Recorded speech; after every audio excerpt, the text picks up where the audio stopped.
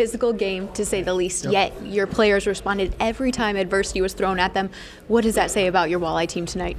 Well, I think they, they know what the goal is. Uh, you know, in winning the hockey game, winning a series, uh, they keep their minds right and they keep uh, they keep focused on the task at hand. And uh, like you said, about the physical play and uh, you know even being on the penalty kill a little bit more than we should be. Uh, you know, they just kept it kept everything positive and just did their jobs.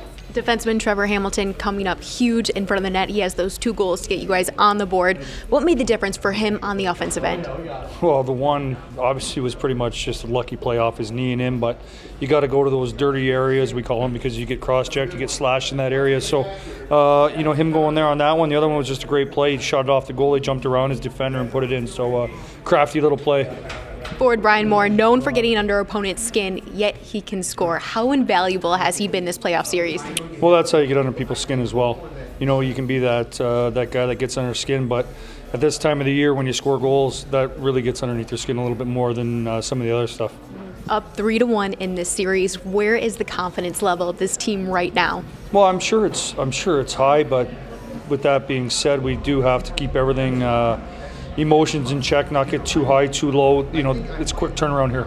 You know, we're hopping on the bus, we're going. So, uh, you know, they don't, they don't, have much time to enjoy it, but uh, the confidence is. Uh, it's high, but I think it's manageable. It's not too high of like uh, cockiness. It, it's just a good spot right now.